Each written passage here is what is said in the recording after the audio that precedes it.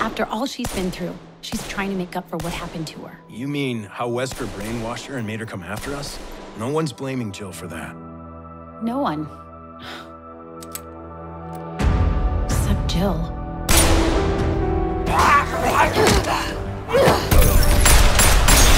Dr. Taylor?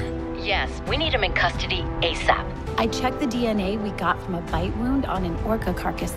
It had a strain of T virus in it. You're kidding. I found the connection between the folks that were infected. They all visited Alcatraz recently. Well, Dr. Taylor, it's time we debuted our creation.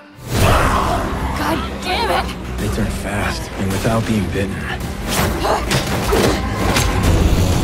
I'm Rebecca. What do you want me to tell them? Someone accessed the DoD's server. They managed to steal data on Leon, Uh-oh. Jill, Chris, and Claire. You think this might have something to do with the Operon now? Most likely. I'm going to use my virus to clean the slate. Dylan! Suckers, you're nothing more than pawns. That can't be good. Yeah.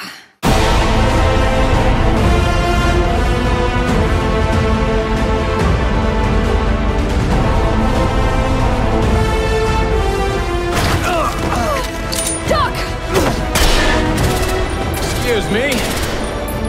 He's all yours. We're at the final stage now.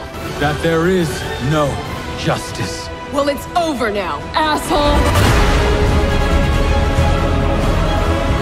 Time to light you up! Let's do it. All of us.